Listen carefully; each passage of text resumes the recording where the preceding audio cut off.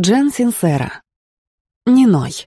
Только тот, кто перестал сетовать на судьбу, может стать богатым. Издательство «Эксмо», 2018 год. Глава 2а. Всеобщий разум. Существует много мнений и теорий о всеобщем разуме, который создал и продолжает создавать все сущее. Некоторые люди называют эту силу Богом, некоторые — душой, некоторые — просто чушью. Если вы относитесь к последним и хотите разбогатеть, я бы очень рекомендовала отложить скептицизм в сторону и попробовать развлечься с новыми знаниями. Дело не в том, что вера во всеобщий разум может помочь вам с деньгами. Я полагаю, вы и так в него верите, просто не отдаете себе в этом отчета. Судьба, удача, божественное вмешательство. Но по дереву-то вы точно стучали. Вы молились, когда ваша команда потихоньку проигрывала, или когда замечали красно-синие сигналы полицейской машине в зеркале заднего вида. Вы благодарили кого-то под названием «Бог» или не договаривали фразу, увидев что-то поистине великолепное. Вы получали внезапное прозрение из ниоткуда. Я не знаю, что заставило меня остановиться у маминого дома по дороге с работы, но если бы я не остановился, то не узнал бы, что она упала. Вы явно видели что-то такое, чего не в состоянии понять, но оно было и происходило рядом с вами. Оно щекотало вам шею. Если в вас есть хотя бы осколок понимания, вы уже поздоровались со всеобщим разумом. Причина, по которой я распинаюсь обо всем этом, проста. Как только вы признаете, что вокруг нас происходит много чего, что мы не можем понять через наши пять органов чувств, вы сможете работать с мощной и безграничной силой Вселенной. Она состоит из энергии. Все в ней вибрирует, двигается, меняется и жужжит. Это верно как для видимого, так и не для видимого глазу. Этой книги, микроволн, вашей машины, кирпича, чипсов, слов, камня, музыки, маринованных перчиков — все очень сильно вибрирует, но есть определенные частоты. И вот та частота, где находится разум, может помочь нам использовать любую информацию на пользу. Вещи со схожей вибрацией притягиваются, поэтому, когда вы счастливы, благодарны, сфокусированы на хорошем, вы притягиваете высокочастотные вещи. Когда вы напуганы и ждете неудач, к вам стремятся низкочастотные вещи. Это называется закон вибрации. Как только вы поймете принцип его работы, вы сможете намеренно думать мысли той частоты, которой обладают желаемые вами вещи. И таким образом вы привлечете себя к ним, а их к себе. Подумайте, как великолепно было бы выплатить ваш долг в 15 500 долларов на кредитке, рассказывая себе снова и снова. «Я так благодарен, что закрыл долги по этой карточке, что даже стою с трудом. Как было бы здорово выписать настоящий чек, рассматривать его и притягивать точную сумму денег на нужной частоте. Кроме того, это уменьшает сопротивляемость деньгам. Как только поверите, вы начнете чувствовать, что все так, как оно есть. Когда сопротивление вас покинет, вы попадете в естественное состояние, в поток. Ничто не будет сжимать или тревожить вашу энергию, и тогда Вселенная сделает для вас все возможное. Мы живем в мире, запрограммированном на фразу «я поверю, когда увижу». Это немного безумно, потому что существует огромное множество бесконечных возможностей, которых мы никогда не увидим. Таким же образом мы не видим электричество и гравитацию, две вещи, серьезнейшим образом влияющие на нашу жизнь. Мало кто понимает, но отрицать их никто не смеет. Всеобщий разум и закон вибрации столь же реальны. Вы верите в гравитацию и не свешиваетесь с крыш. Вы верите в электричество и не суете пальцы в розетку. Вы не понимаете процессов, но согласны играть по правилам. Как только вы начнете чувствовать работу закона вибрации и углубите свои отношения со всеобщим разумом, вы тоже поверите в их силу, хотя и не поймете их до конца.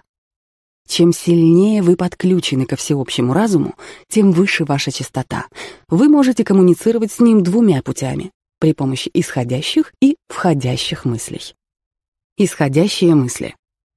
Мы — единственные существа на Земле, наделенные силой сознательного мышления.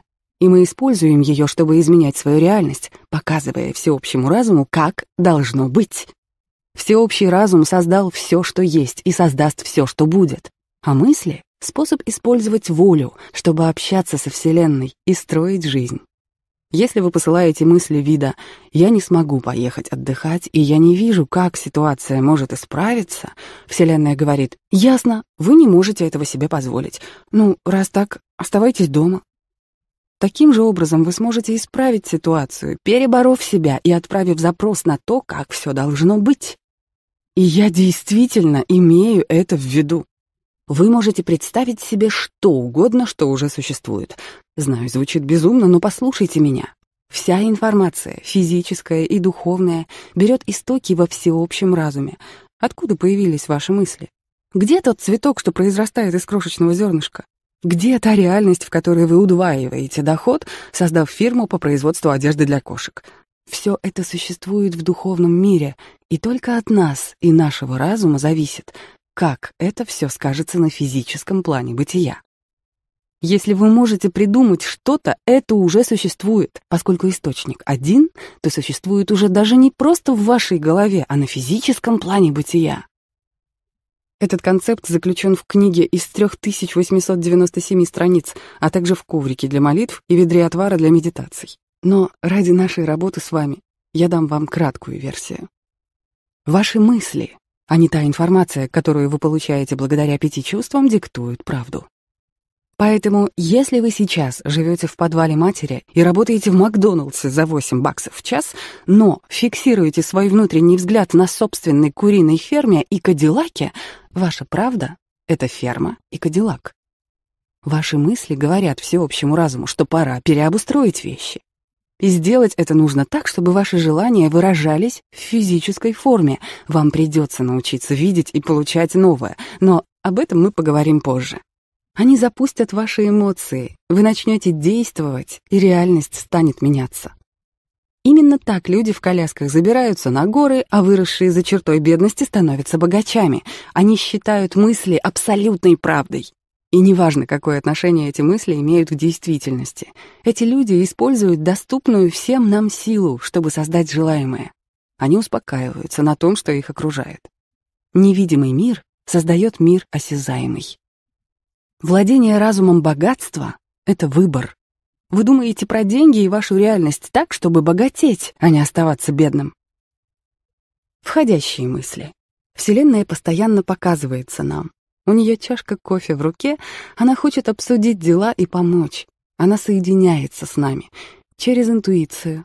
Я просто знаю где-то внутри себя, что должен купить этот дом. Неважно, что он стоит намного больше, чем я хотел бы потратить. Это все равно правильный поступок. Через синхронистичность. Интересно, что случилось с Шерон с тех курсов готовки? О, смотрите-ка, она мне звонит. Через вдохновение. Ну-ка, послушай эту идею для классной песни, которая свалилась мне на голову из ниоткуда. Через желание. Я знаю, что я должен быть морским биологом, хотя я никогда не видел океан. Через совпадение. Я открыл книгу на идеальной странице. Это то, что мне нужно прочесть. Через любовь. Глубоко внутри я знаю, насколько я прекрасен. Если вы действительно намерены надрать задницу всем в этой жизни, усильте связь со Вселенной следующим образом. Научитесь утихомиривать разум и получать информацию, которую он пытается вам сообщить. Считайте, что эта информация, также известная как ваша интуиция, дает ответы на все вопросы, которые вы ищете, несмотря на их суть.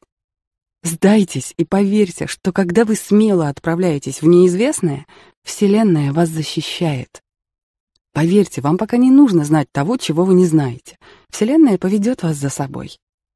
У нас всех есть возможность пользоваться силой Вселенной при помощи наших мыслей. Если это все не пробудило в вас желание пойти купить плащ супергероя, я даже не знаю, что еще могу сказать.